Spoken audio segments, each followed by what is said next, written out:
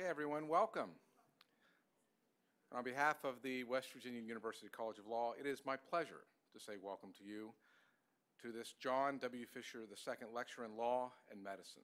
Uh, This endowed lecture is another of our Dean's Enrichment Series, which consists primarily of lectures featuring prominent legal academics and practitioners who make presentations uh, in their areas of expertise. And by sharing their expertise, they help us all to increase and deepen our knowledge, uh, which is what legal education is and should be all about.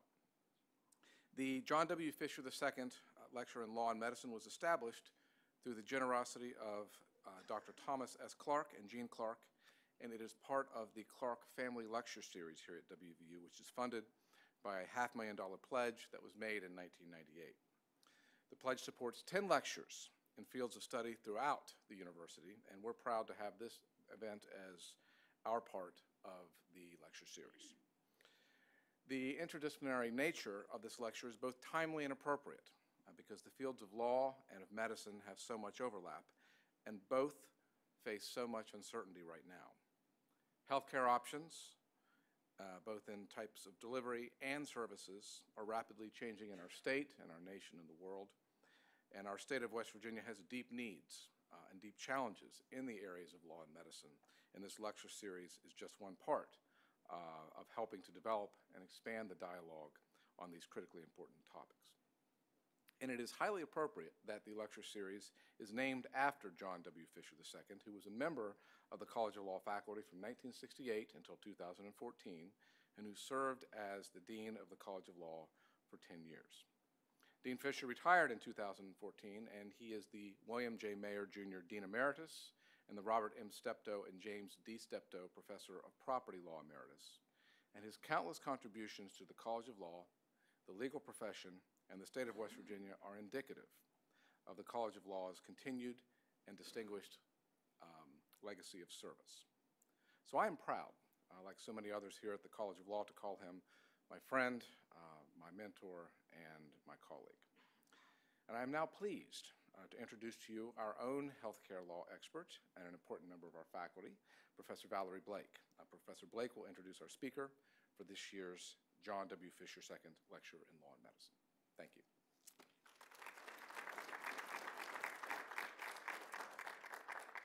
Hello, everyone. I have been told to um, announce a few housekeeping items first. Um, so our speaker has been made aware that many of you have class at 1 o'clock.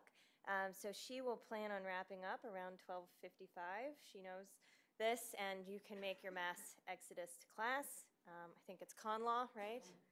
Yeah? No? Okay. Um, okay. Uh, there will be a reception right out in the hall um, directly after for those of you who can attend. So, I am honored that Professor Crossley can join us to deliver the annual John W. Fisher Lecture in Law and Medicine. Professor Crossley is a leading national expert in matters of both healthcare law and disability law. She is currently a professor of law at the University of Pittsburgh School of Law, where she served as the dean at my tenure there. Um, she was there from 2005 to 2012 as their dean. Um, prior to teaching at Pitt, she um, has taught at both Florida State University and at University of California Hastings College of Law. Professor Crossley teaches in a diverse number of areas, including health law, bioethics, family law, torts, and legislation and regulation. Her scholarship is as wide-ranging as it is well-regarded. I cite her almost every time I write a paper, as do most others in our field, um, her scholarship focuses broadly on inequality in the financing and delivery of healthcare. And it includes topics like physician bias in medical treatment, health insurance discrimination against the unhealthy, and disability rights of newborns. She has many honors. Um, let me just give you a couple. Uh, in 2013, she was named the Robert Wood Johnson Foundation Public Health Law Scholar in Residence, which is a very big deal. Um, and in 2016, she was elected to the American Law Institute. Before teaching, Professor Crossley practiced corporate and healthcare law and clerked for Judge Harry Wellford of the Sixth Circuit Court of Appeals, a Tennessee girl. She is a JD from Vanderbilt and a BA from the University of, Virginia. Um, on a personal note, I owe Professor Crossley an enormous debt of gratitude. She has been a mentor of mine over the years and has lent me syllabi, uh, taken time to give me notes on papers. Um, she's a wonderful colleague and friend to those who have the pleasure of working with her. Uh, with that, I'll let her come up to the podium and begin.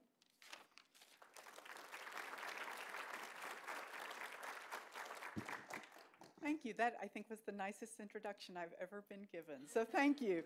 Um, and it's really a real honor um, to be here today and to be giving the Fisher Lecture in Law and Medicine. Uh, I had the pleasure of meeting Dean Fisher last night and having dinner with him, and I am truly honored to be giving a lecture in his name um, for someone who has given so much to this great institution. For me, one of the real pleasures of writing and teaching in the field of healthcare law is that I end up reading medical journal articles because, not necessarily because they're really fun or because I understand everything that's in them, but in order to gain insights and ideas into how medical professionals view the world and what kind of issues they're facing, because often those issues have legal angles.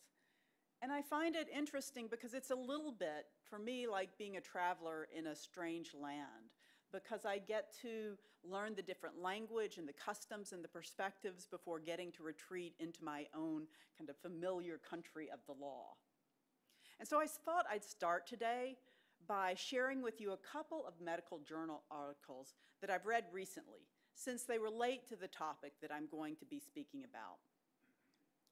The first is an editorial published in the New England Journal of Medicine at the end of January, allocating organs to cognitively impaired patients. It describes a letter that 30 members of Congress sent to the Federal Department of Health and Human Services asking it to issue guidance on organ transplant discrimination against people with disabilities. The letter was prompted by recent high-profile cases where transplant centers excluded persons with cognitive impairment, impairments from transplant waiting lists. The second article is a short research piece published last October in the journal JAMA Internal Medicine. Its title is States Worse Than Death Among Hospitalized Patients with Serious Illnesses. This article reported the results of a study in which the researchers asked hospitalized patients with serious illnesses about a series of conditions, or what they called states of debility, and how the patients would compare having those conditions to being dead on a scale that ranged from being worse than being dead to being much better than being dead. Turns out that while fewer than 10% thought that using a wheelchair would be worse than or the same as death, nearly 70% thought that relying on a breathing machine or being incontinent would be the same as or worse than being dead. So that gives you some idea of the kinds of medical journals that articles that catch my eye, and I'll come back to these later in my lecture to tie them into what I'm um, talking about today. And what I'm going to be talking about today is looking at how and why the perspectives of people with disabilities challenge mainstream understandings of end-of-life decision-making. Now, I may seem to be an odd choice to offer the disability perspective on this or, for that matter, any other topic, as I am an able-bodied and a person of sound mind, um, at least for the moment. For the past 30 years, though, I've puzzled over how people with disabilities experience the healthcare system and how the healthcare system experiences people with disabilities. Either I'm not very good at this sort of puzzle, or it's a really tough puzzle, or maybe a little bit of both. In any event, I'm still struggling with these questions. And the topic continues to engage me because, to my mind, understanding what it means to be disabled is an inextricable part of what it means to be human. In this lecture, I should be clear, I do not speak for people with disabilities. People with disabilities are able to speak for themselves. I'm simply offering my understanding of views commonly expressed by members of the disability community. My starting premise is that disability lies at the heart of questions about what I call ending life decisions, simply because most people whose lives end as a result of a decision to withhold or terminate life, um, life-sustaining medical treatment or to seek active medical assistance in dying are in fact disabled. Some may have become disabled only at the very end of their lives, while others may have been disabled for many years or for their entire lives. But my point is that by and large, discussions about the right to die have not been about able-bodied, mentally competent persons. Our society remains profoundly uncomfortable with the idea that an able-bodied, healthy person would voluntarily direct her own death.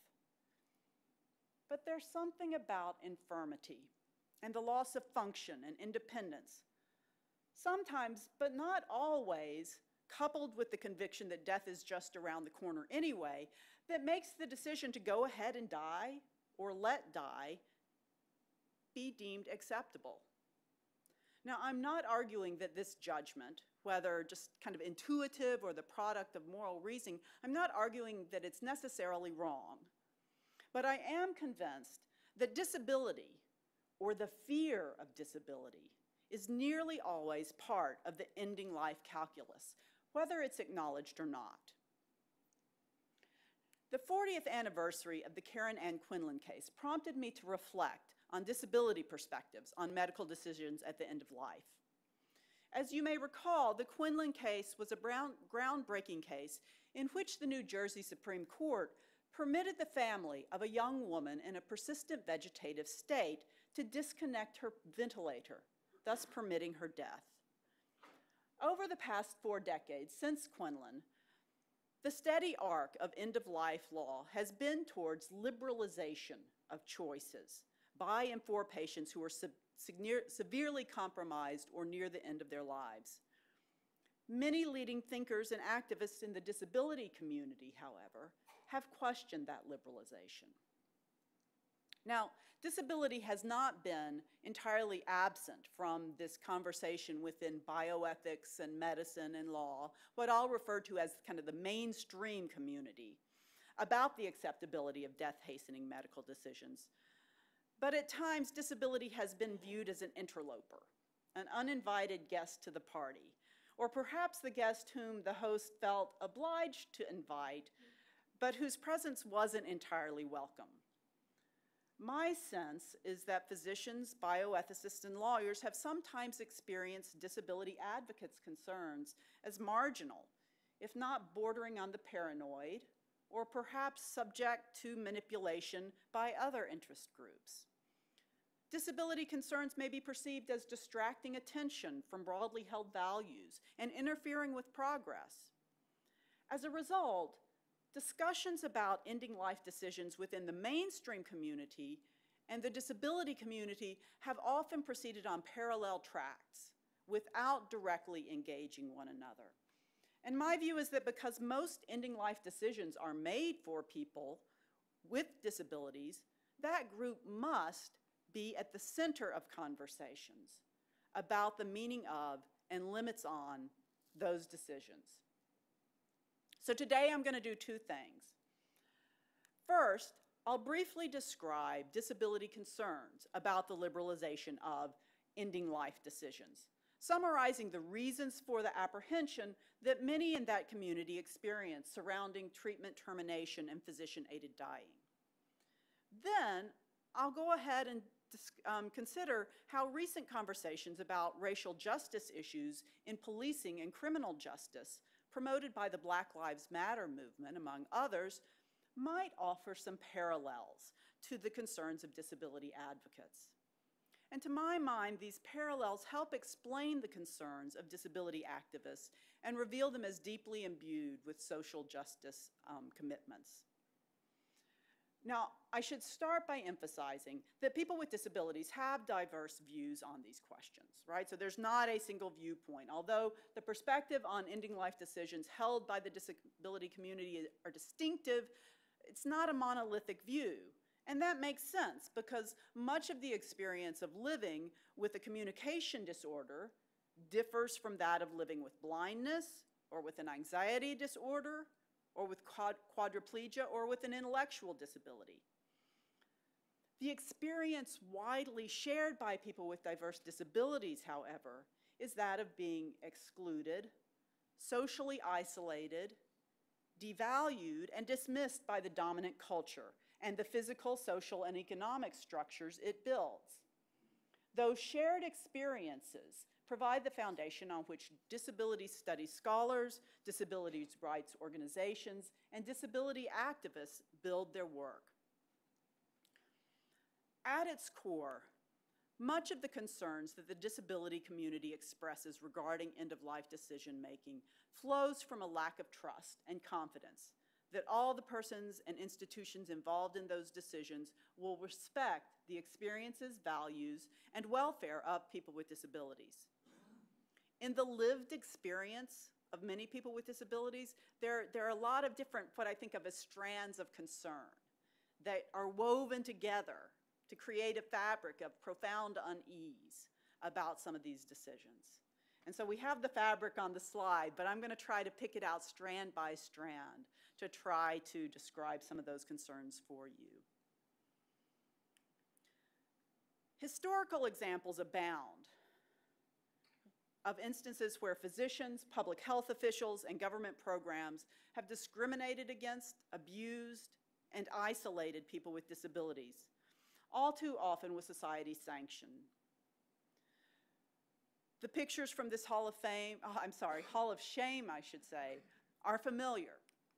There's the photo of Carrie Buck, who, like more than 60,000 other Americans who were believed to be feeble-minded, disabled, or otherwise unfit to reproduce, was sterilized without her consent, all in the, all in the name of a eugenic vision of public health that endured from the 1920s until well after the end of the Second World War. The Supreme Court upheld Virginia's eugenic sterilization law with Justice Holmes' ringing endorsement that three generations of imbeciles are enough. The disturbing images from the 1960s and 70s of disabled youth in wretched conditions in the Willowbrook State School in New York also come to mind. For decade, decades, physicians were complicit in the history of mistreatment of people with disabilities, including involuntary institutionalization and forced medical procedures. Willowbrook, with its history of abuses of and experimentation on children and youth with intellectual disabilities, is symbolic of physician mistreatment of disabled people, much as the Tuskegee syphilis study is for black people. In the 1980s, the public became aware of another example of physicians supporting death-dealing decisions for vulnerable people with disabilities. Significant media attention focused on the story of baby Doe, an infant born with Down syndrome, whose parents chose not to authorize routine surgery to correct an esophageal blockage, and instead permitted their infant to die of starvation. Baby Doe was not an isolated case so-called selective non-treatment for disabled newborns was described in one medical journal article of the time as the highest form of medical ethic, and surveys showed significant physician support for the practice. For decades, systemic government-sanctioned practices isolated people with disabilities in institutions where they had little or no opportunity to participate in community life or to pursue educational or economic opportunities. The societal stigma attached to disability contributed to and reinforced Medicaid's preference for institution-based long-term care services, which required people with disabilities to live in institutions in order to be able to receive needed supportive and medical services. It wasn't until 1999 that the Supreme Court's decision in Olmstead versus Zimring recognized that in cases where institutionalization is unnecessary and undesired, a state's failure to provide services in a community-based setting constitutes disability discrimination in violation of the Americans with Disabilities Act. Despite Olmstead, though, Medicaid's historic structural bias in favor of institutional care persists. Although allocation of Medicaid funding varies from state to state, in 2013, more than 30 states still devoted less than half of their long-term care spending to home and community-based services as opposed to institutional care. Even today, many offices of physicians and other healthcare providers seem to be in some kind of land of, that time forgot when it comes to accessibility for people with disabilities.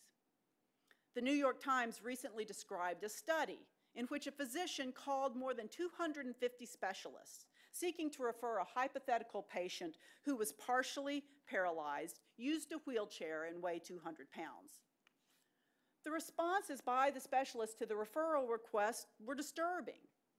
Fewer than 10% of the specialists had the appropriate equipment and trained staff to provide care for the patient, and 20% refused to even book an appointment.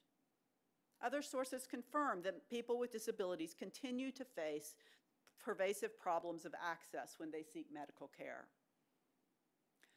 Now, the examples I've described illustrate how biases have colored the history of and still persist within the health and medical systems in the United States.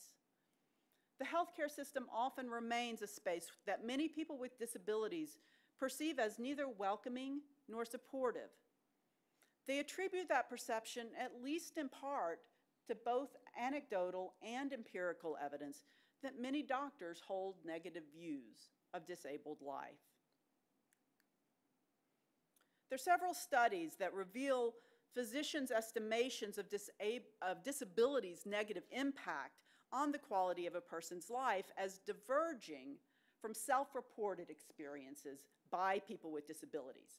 In other words, doctors who are asked about the quality of life that patients with disabilities can be expected to enjoy tend to estimate the quality as being low, even though people with disabilities typically report a quality of life that rivals that of non-disabled people.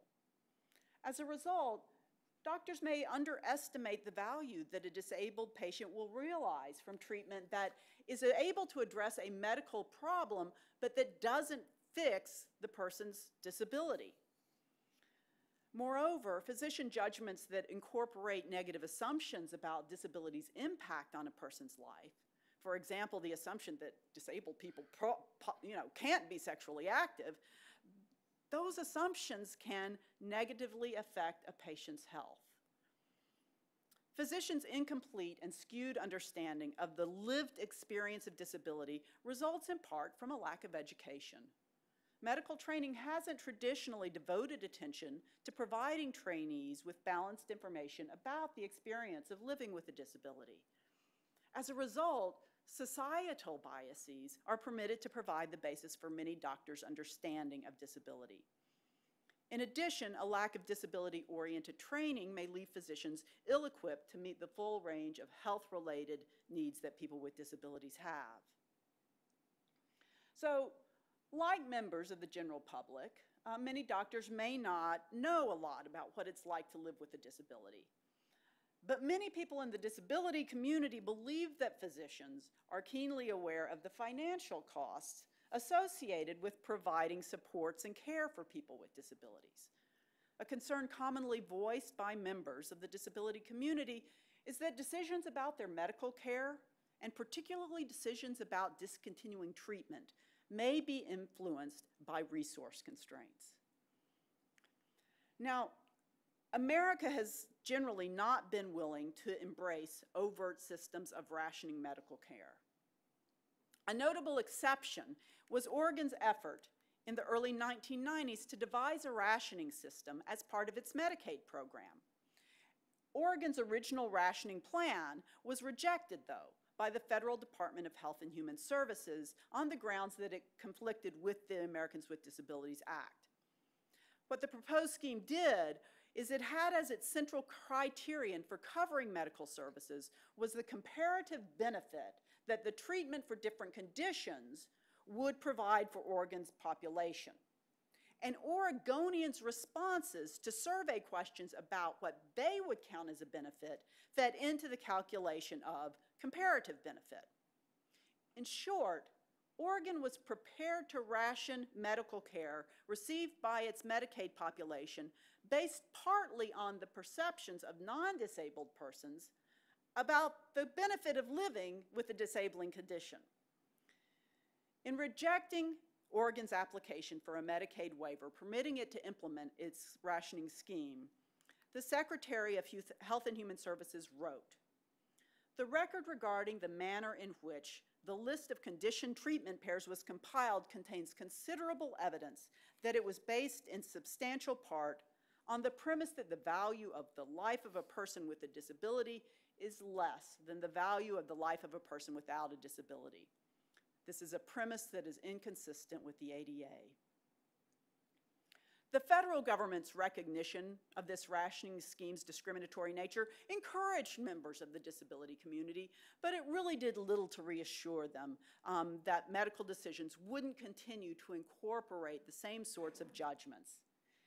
Instead, the concern that medical choices for people with disabilities often reflect implicit biases and covert rationing is a frequent refrain in writing by people with disabilities. And here I think is a good place to circle back to the two articles that were published within the past six months that I told you about at the beginning of my talk because they illustrate why these concerns remain vivid today. Although the Department of Health and Human Services told the state of Oregon 25 years ago that rationing schemes premised on the lower value of disabled lives are illegal, the same department is being asked today to make the same point to transplant centers that have continued to discriminate against persons with cognitive impairments. And medical researchers continue to think that it's valuable to ask people who are ill but who don't have the experience of living with disability to ask them whether they think it would be preferable to die than to experience different states that many people with disabilities live with for years or decades, such as using a wheelchair, being incontinent, or requiring assistance with breathing. The concern that medical decisions for people with disabilities will incorporate biases against disabled life as being of low value and burdensome arise not only in the context of decisions made by doctors, though. It extends as well to choices made by family members acting as surrogates for patients who are incompetent to make their own decisions. Indeed, people with disabilities themselves may consider the cost of their care as one reason for choosing to discontinue life-sustaining medical treatment. Now, hearing that point, that people with disabilities may take this into account themselves, many bioethicists and some members of the disability community emphasize the importance of ensuring that um, people with disabilities are empowered to make autonomous decisions about their medical care. Respected voices from the disability community argue that equal respect for people with disabilities demands their ability to choose for themselves, whatever factors they might rely on. Others in the disability community, however, are less sanguine about the primacy of autonomy. While not necessarily diminishing or dismissing the value of autonomy in the abstract, they question whether the choices that people with disabilities face in fact resemble the idealized notion of autonomous choice. These concerns are particularly salient for persons disabled by a sudden trauma who must abruptly transition from being able-bodied to facing severe impairments. Expressions of desire to withdraw life-sustaining treatment or even to pursue affirmatively life-ending um, measures in the period following the disabling event aren't unusual. Millions of Americans watched the fictionalized accounts of such a scenario in the closing scenes of the 2005 award-winning movie Million Dollar Baby. In that movie, the young boxing champion Maggie suffers an injury that leaves her paralyzed and dependent on a ventilator, and she persuades her trainer to end her life. The disability communi community roundly condemned Million Dollar Baby as filled with inaccuracies about life with spinal cord injuries and as portraying Maggie's life of being of such low quality that it wasn't worth living. In the real world, many persons who have suffered disabling injuries have shared their gradual shift in perspective from wishing for death in the aftermath of the injury to discovering satisfaction in their life with disability. This common, although clearly not universal, adaptation to the changed cir circumstances and the renewed desire to live lead many in the disability community to question how truly autonomous is anyone's wish to die in the short term following an injury. Moreover, disability advocates highlight the importance not just of time, but of appropriate supports and accommodations in permitting satisfaction with life with a disability.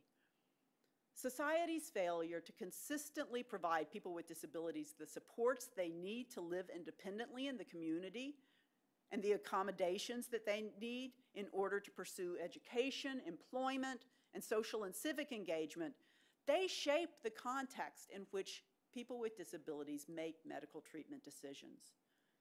A paradigmatic case informing the disability view was David Rivlin's. While he was young, David Rivlin suffered an accident. He was surfing, and it um, left him quadriplegic. But for some time after his accident, he lived in the community. He attended community college, and he got engaged. But an operation 15 years after his original injury left him further disabled and dependent on a ventilator.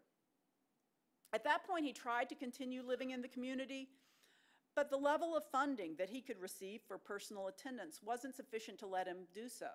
So he had to live in an institution for which the state paid in full.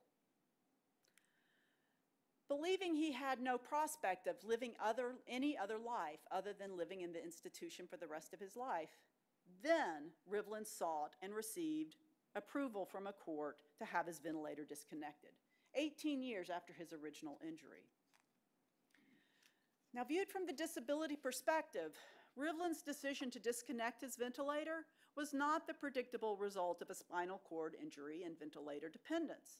Instead, it was the product of the societal devaluation of life with disability that underpins policies segregating and isolating disabled people in institutions rather than supporting their independent living.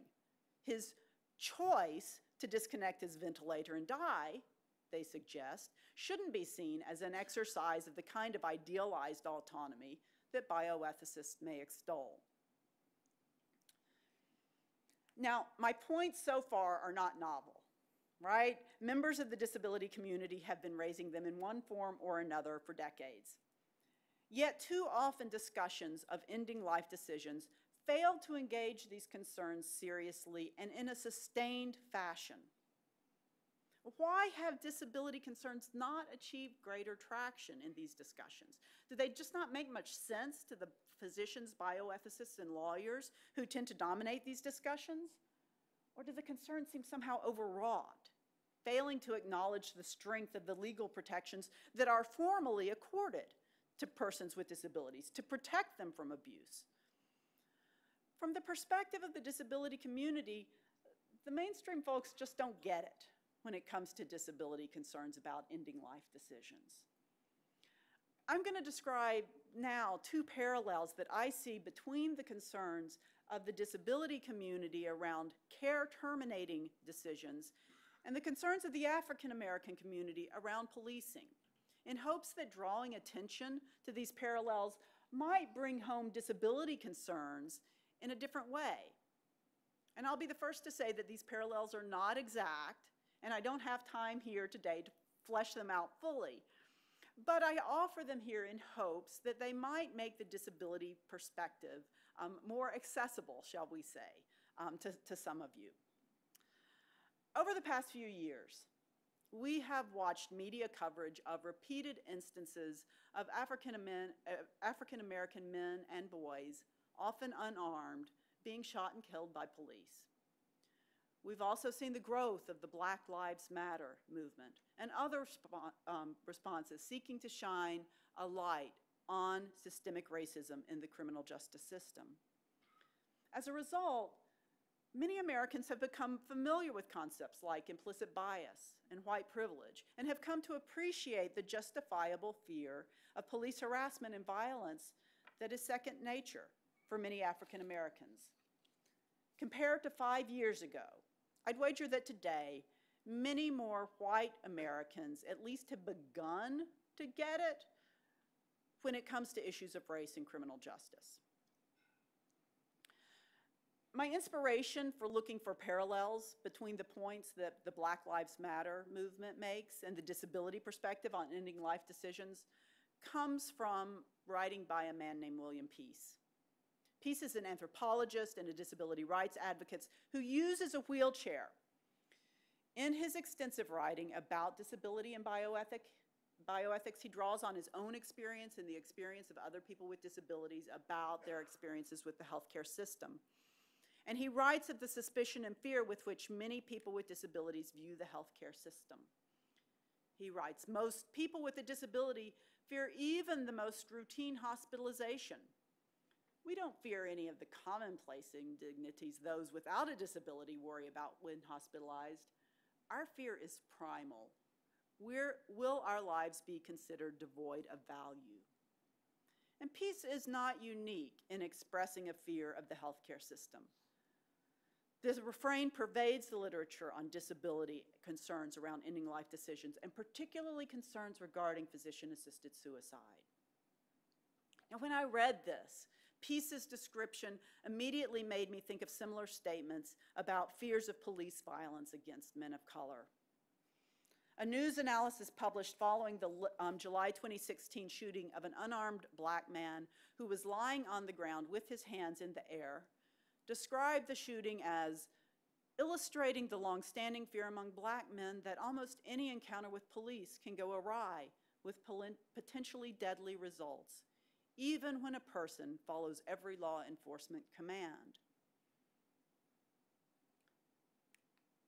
The parallels between blacks' fear of being physically harmed or killed by police violence and disabled people's fears of being physically harmed or killed by physicians' treatment those parallels are striking to me. In each case, members of a profession charged with advancing safety or health are feared by a subset of the population. Commentators have posited that harmful actions by police or by physicians often flow from misperceptions and implicit bias rather than from overt racism or ableism the suggestions by these commentators are that police may be more likely to use lethal force against black men because of culturally prevalent perceptions of dangerousness and criminality, and that doctors may be more likely to advise against life-sustaining treatment for people with disabilities because of culturally prevalent perceptions of burdensomeness and hopelessness in many ways, the contexts of the professionals' decisions are markedly different, right? But both police officers and physicians often have to make decisions quickly while relying on ambiguous or incomplete information. And those are circumstances that increase the risk of bias influencing judgments. To be clear, people with disabilities don't generally assert that doctors are out to get them. Disability studies scholar Carol Gill refutes that characterization as a straw man fallacy that obscures the true nature of disabled people's concerns. The problem lies not in physician animus, but instead in attitudes that are widespread among medical professionals that underestimate the quality of life with disability, that fail to appreciate options available for increasing functionality and independence, and that reflect heightened sensitivity to healthcare costs. Gill writes, quote, we are, in fact, much more frightened by the doctors who are out to help us, but who see our lives as burdensome and who know little about topics that make life with disability valuable. We know that their misplaced pity and pessimism is reinforced by the medical institutions that surround them, the policies that guide them, a healthcare system that rewards them for holding down costs, and the prevailing culture that influences their thinking about disability. Certainly, some members of the disability community might not accept the parallels I identify here today and might honestly disclaim any distrust in or fear of their doctors. The fact that this distrust isn't universal, however, doesn't uh, undermine its authenticity or validity of the widely expressed concerns. So in just a, the last few minutes I have here, I'll talk about a, a second parallel that I'll see that I see, and then I'll be happy to open it up for questions. And this second parallel that I see has to do with the importance of privilege. Um, when we look at the parallels in the literature presenting disabled people's concerns about ending life decisions and points made by racial justice advocates.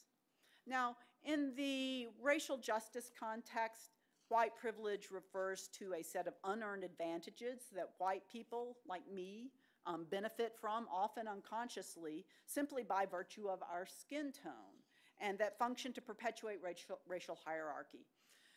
The concept is by no means universally recognized uh, or accepted, but conversations about white privilege have become common over the past several years in settings ranging from universities to church congregations. And I think that openness to white privilege or recognizing white privilege seems to have increased as media coverage of police shootings um, and the movement for Black Lives have exposed people across groups um, to discussions about racial disproportionality in the criminal justice system. Just as the unearned advantages conferred by skin tone may be invisible to white people, at least until we make an effort to become aware of them, so too, the unearned advantages conferred by an able body and intact cognitive functioning are often invisible to non-disabled people. Although less widely recognized than white privilege, feminist and disability scholars and activists have discussed the existence and effects of ability privilege or able-bodied privilege. According to one commentator, able-bodied privilege allows non-disabled people to maintain experience of superiority perfectibility, security, and comfort. But able-bodied people have not earned the privilege that accompany having, having an able body. And most able-bodied people, frankly, will not retain that status throughout their lives. The privilege of being abled rather than disabled is particularly relevant to the dynamics of the debate around a physician-assisted suicide. Proponents of a right to physician-assisted suicide typically stress how recognizing that right would further the ideals of autonomy, liberty, and control. How their own ability, privilege affects which values they prioritize, however, probably aren't clear to them.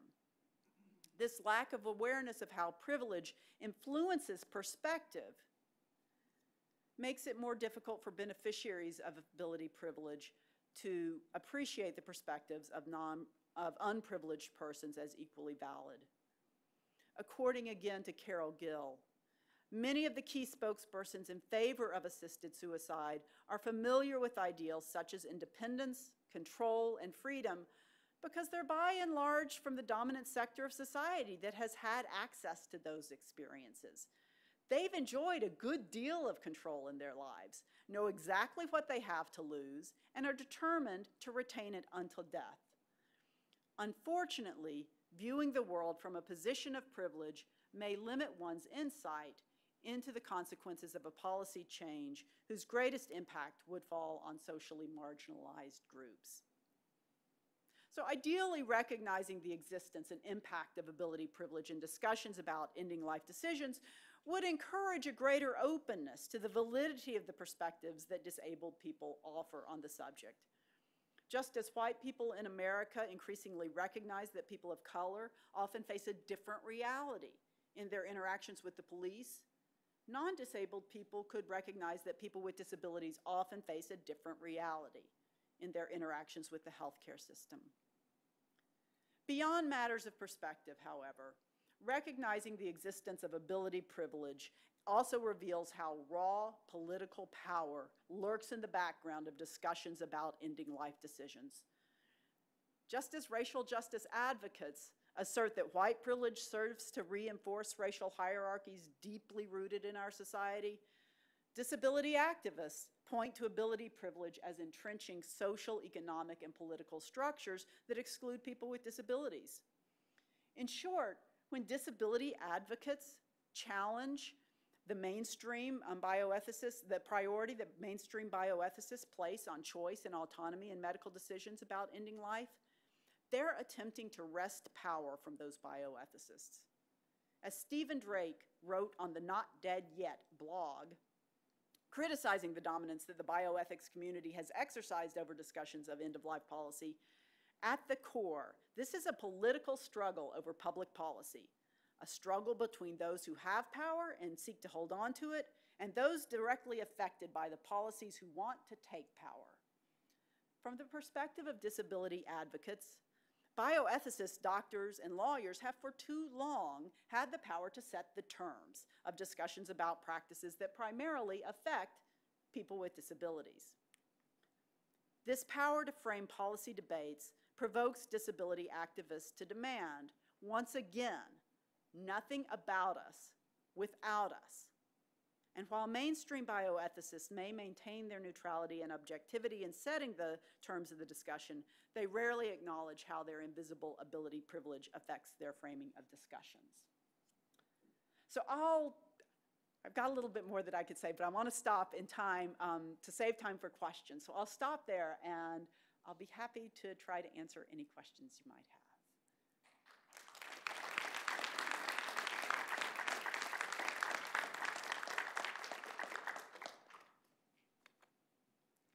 So somebody better ask questions or I'll just keep talking. Yeah, thank you.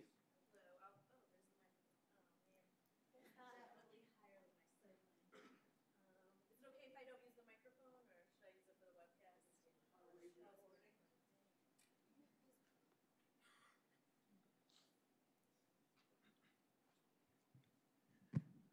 All right.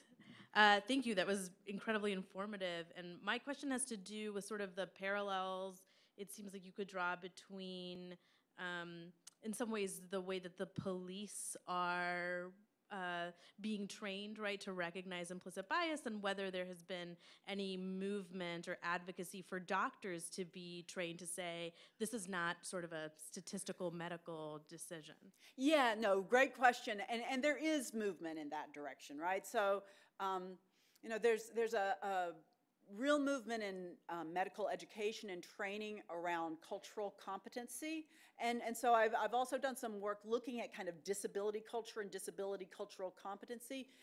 And there is some movement towards that, but, but there's still not widespread recognition of kind of disability as a um, group that should be included in those kinds of discussions. So I, I see positive movement in that direction, and there's increasing um, conversation in the medical literature about the need for better education. And if you start, if you look at um, medical school curricula, there is more emphasis on um, patients with disabilities, but there's not always, and this is one of my key points, and it's not mine alone by any means, um, there's not always a lot of inclusion of people with disabilities in actually designing and implementing and teaching that. Yeah. Hi, thank you very much. Uh, I teach a course here cheerfully entitled uh, Dying in the Law. So this is a subject we talk about a lot. Uh, I'm just curious, we talk a lot about the tension between palliative care and assisted suicide and, and doctors like uh, Gawande and, and Ira Byock and people like that who have written a lot. I wonder to what extent this discrimination against uh, people with disabilities carries over into the palliative care world, if you feel there's discrimination there too, or since the mission of palliative care is, is to relieve suffering no matter what, if that doesn't enter there at all. Yeah, you know, I, mean, I, I don't have a, a specific answer to your question in terms of knowing about conversations within palliative care specifically. I do know that, that one of the real concerns um, voiced by people within the disability community is uh, a concern that they will be too quickly pushed towards. Um, and with palliative care, my understanding is that it's not so much of a, a choice like hospice, where you're saying, I'm giving up the right to curative treatment and focusing um, purely on comfort care, and that palliative care can work side by side with curative efforts. But I do know that there is, you know, some reluctance towards being steered, as it were, towards one path that um, seems to say, okay, it's time to let go. Right? And in, fa- in fact, the quote that I gave you from um, William Peace came from an experience that he had where he was, you know, he's used a wheelchair for decades, and he was admitted to the hospital with, with a bad infection that was unrelated to his, uh, his disability, but he had a bad infection. He was being treated aggressively, but at, at 2 a.m. one morning, a doctor came in and had a conversation with him about whether he wanted to pursue just comfort care right? And, and his point was that if I were not a person with a disability, no doctor would have ever had that conversation with me. So I think there is still that concern about doctors, and of course, it's not the doctor's decision to make, but the advice that a doctor or another healthcare provider or a family member provides can affect decisions.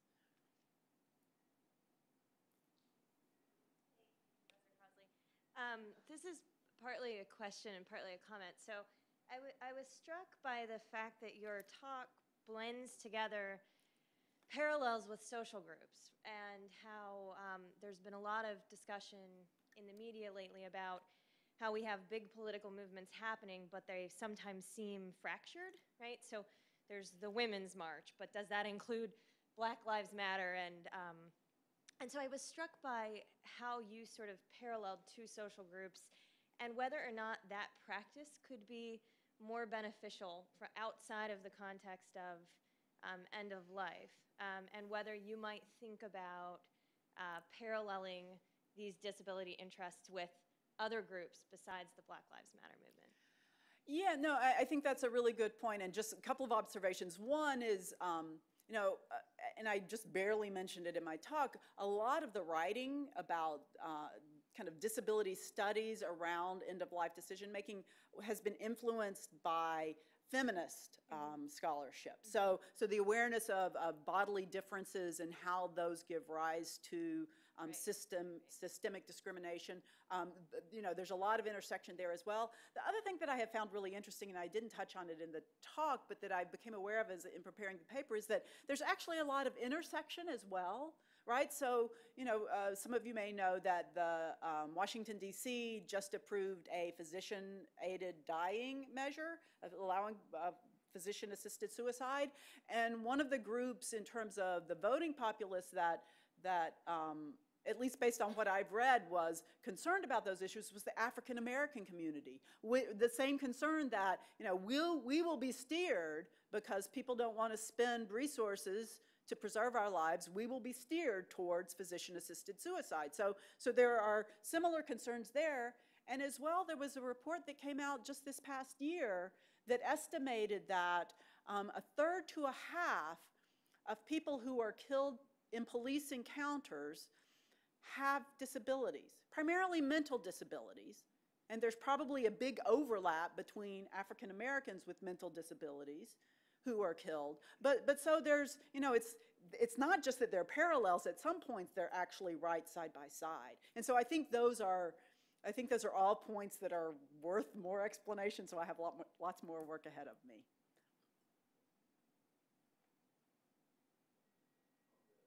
Oh, do it. Thank you.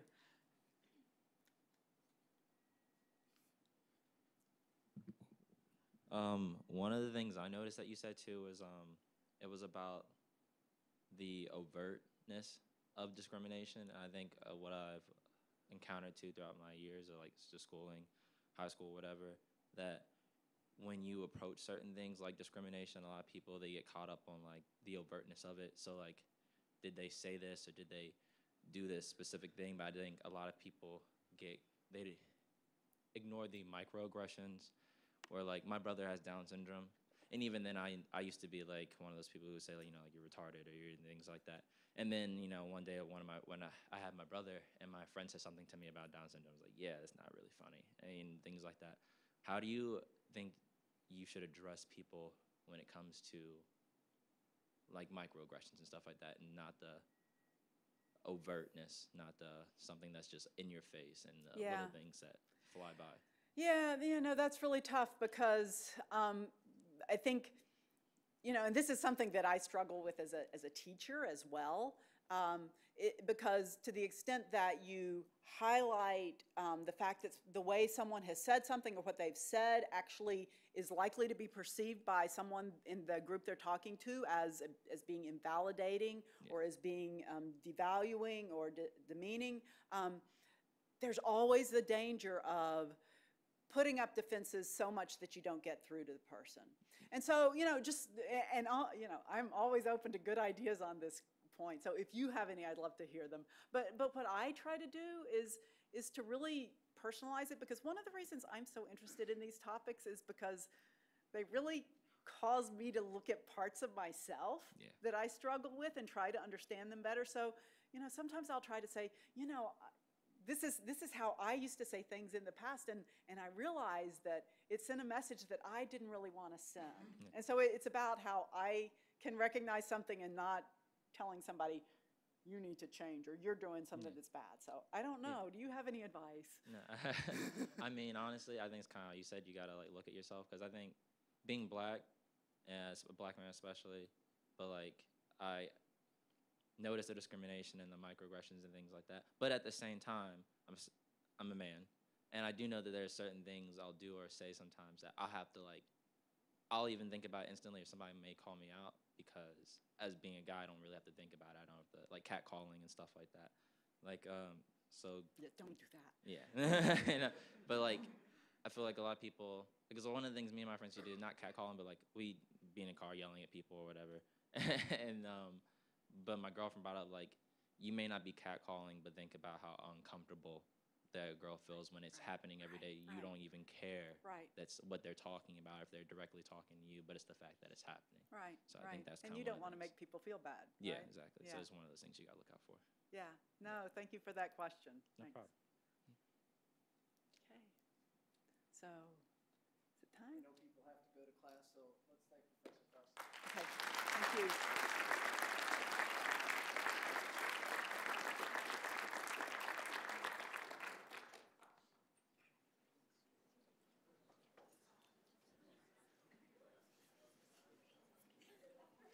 How are you doing?